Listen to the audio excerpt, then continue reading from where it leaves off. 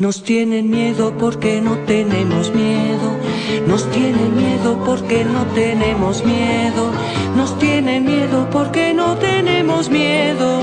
Nos tienen miedo porque no tenemos miedo. Nos tienen miedo porque no tenemos miedo. Nos tienen miedo porque no tenemos miedo. Nos tienen miedo porque no tenemos miedo, porque no tenemos miedo compañeras de diferentes organizaciones que en el marco del Día Internacional de la Mujer Trabajadora decidimos hacer visible la opresión de género y de clase que padecemos en todo el mundo. A través de esta campaña anual queremos escuchar, debatir y multiplicar las voces de todas las mujeres que por su, condición de género, clase y raza sufren la persecución y el encierro. Están atrás, van para atrás, piensan atrás, son el atrás, están detrás de su armadura militar. Este es un homenaje a las luchadoras populares perseguidas, refugiadas, procesadas y presas de ayer y de hoy a las mujeres del pueblo mapuche, chileno, paraguayo, peruano, colombiano, argentino, palestino, saharaui, kurdo, compañeras de Euskal entre tantos otros pueblos, que día a día resisten y sortean condiciones difíciles, demostrando que la dignidad no se negocia ni se vende. Nos ven reír, nos ven luchar, nos ven amar nos ven jugar, nos ven detrás de su armadura militar. Los saharauis que empezaron eh, justo 40 años, hace en, mayo del, del 73, una lucha mm, política en los primeros años, pero también armada en los últimos años contra el comunismo español y llegaron eh, a que España reconoce el derecho del pueblo saharaui a autodeterminación.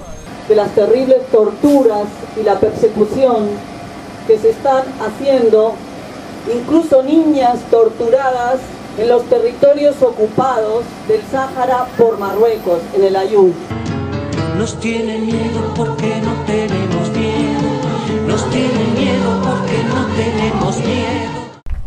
También queremos recordar acá a las presas políticas vascas. Euskal Herria es un pueblo que también lucha por su liberación, como el pueblo saharaui. Está, está invadido por España y por Francia. También tenemos una carta de una presa política vasca, Ochone López Luzuriaga. Están atrás, van para atrás, piensan atrás tan de migrantes en las que se encuentra la población carcelaria general, pero especialmente los prisioneros y prisioneras políticas, porque aún estando en prisión siguen siendo considerados por el gobierno nacional como un enemigo interno. Y desde ahí se despliegan una serie de estrategias de persecución que los alejan de su familia, que los ubican a más de 30 horas de camino, por lo general son eh, compañeros y compañeras de una extracción de clase bastante humilde así que sus familias no tienen las condiciones para irlos a visitar, para hacer un traslado de más de 30 horas, como lo dije ahora. Eh, igualmente se les ponen un montón de obstáculos jurídicos. En Colombia no existe la cadena perpetua jurídicamente, pero existe de hecho. Encontramos penas de más de 90 años.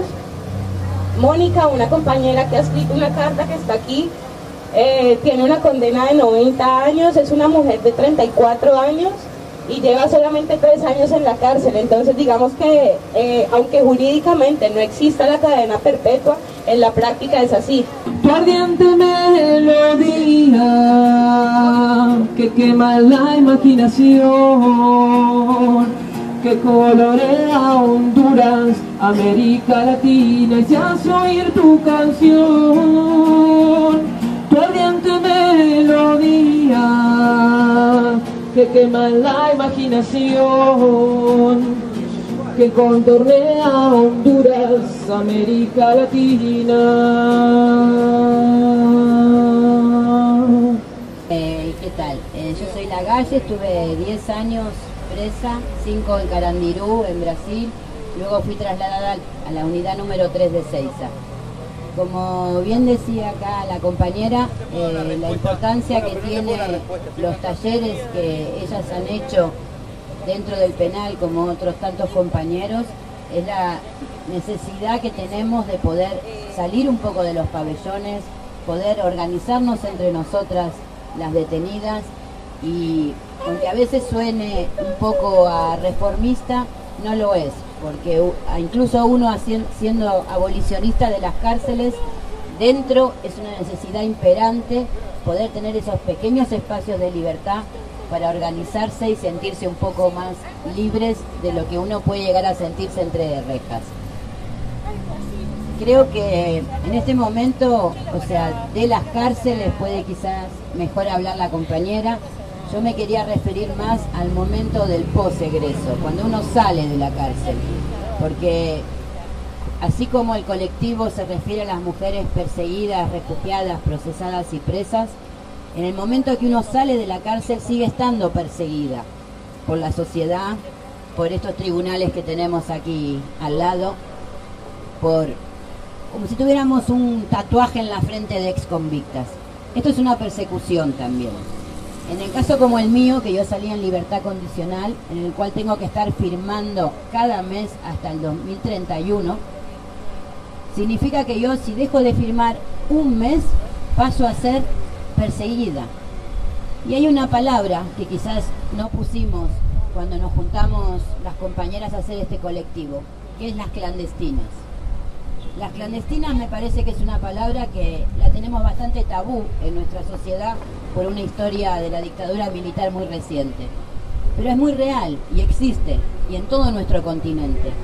Porque una vez que sos perseguida, antes de llegar a, poder ser refugiada o procesada y detenida otra vez, tenés tiempos de clandestinidad.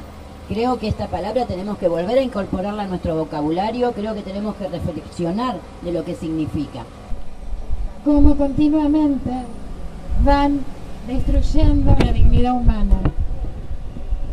Cuando van al médico, es decir, pueden pasar días con dolores muy fuertes y nada, el sistema de salud es pésimo, se han muerto mujeres por esa misma situación. Este, la comida, la comida no la comen ni los perros, carne dura. Además, el sistema tiene eh, de mujeres, porque nosotros de varones, también trabajo este, los cuales también están muy explotadas, porque la mayoría son madres que tienen varios hijos y también toda esta historia para ver a sus hijos. Por eso decimos que las mujeres son doblemente castigadas. Bueno, lo que hay que entender es que las cárceles están llenas de pobres, eh, no hay delincuentes, los delincuentes se encuentran en los lugares de lujo, en los countries. Entonces hay que entender también que nadie está exento de caer en cana, ninguno de nosotros, todos los que somos de a pie, con causa armada, por un delito económico, por necesidad de llenar la olla, por miles de factores que esta sociedad nos empuja a tener que buscarnos la vida, sobre todo la parte más excluida de la, de la sociedad. Entonces lo que hay que entender que cuando nos condenan por lo general en un grosso dentro de las cárceles femeninas por delitos económicos, hay que entender que a lo único que nos condenan es a la privación de ir y venir y permanecer en un recinto. Ahora nos encontramos con servicios penitenciarios militarizados, donde los castigos son muchos. Como decía acá la compañera, el abandono de las compañeras que están dentro es absoluto, a nivel de salud, que es el motivo de la estadística de que más muertos hay entre los muros es por la salud, por el abandono de personas, por la no prevención, por la no atención médica. Es el mayor índice de muertes dentro de las cárceles.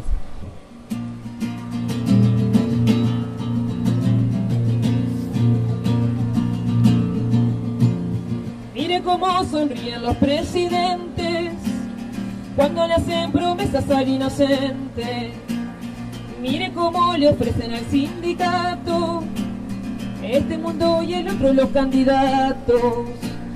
Mire cómo redobla los juramentos, pero después del voto doble tormento.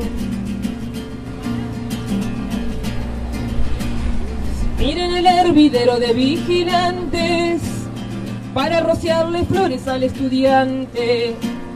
Mire cómo relumbran carabineros para hacerle premios a los obreros.